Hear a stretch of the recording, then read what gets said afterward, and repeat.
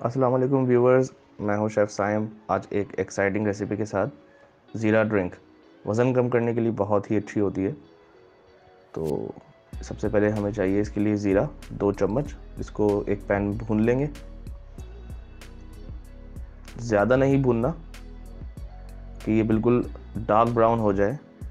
Mild light brown इसको भूनना है। जब इसमें धुआँ उठने लगे, ये देखें, धुआँ उठ रहा है।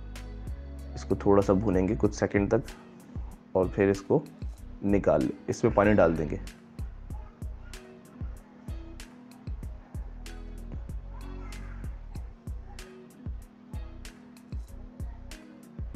पानी ऐड कर देंगे। ये मैंने डेढ़ लीटर पानी इसके अंदर ऐड किया है। 1.5 लीटर। अब इसको बॉईल पे ले आएँगे और पानी को रिड्यूस कर देंगे। आधा।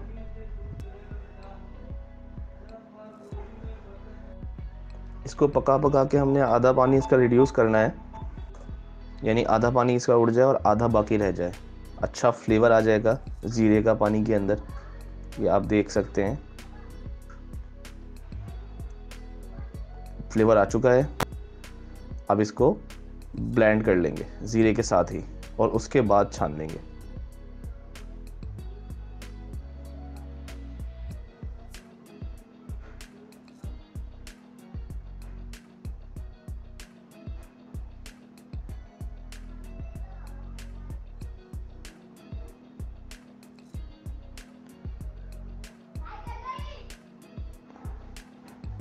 ब्लेंड कर लेना है अच्छी तरह।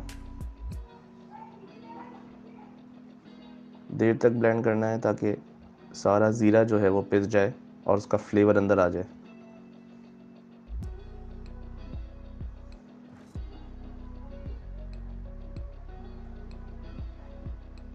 छान लेंगे किसी जग में।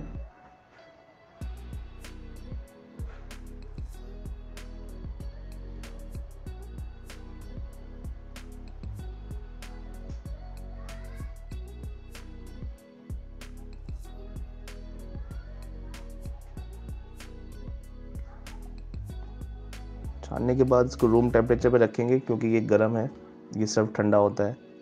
तो उसको पहले रूम टेम्परेचर पे ठंडा होने देंगे।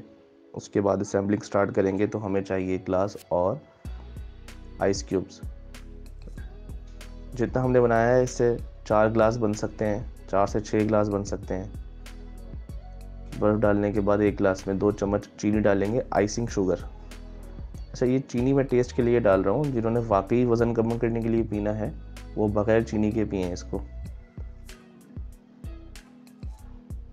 तीन से चार पुदीने के पत्ते, दो लेमन स्लाइसेस दो चम्मच चीनी और एक पूरा लीमू निचोड़ देना है इसके अंदर।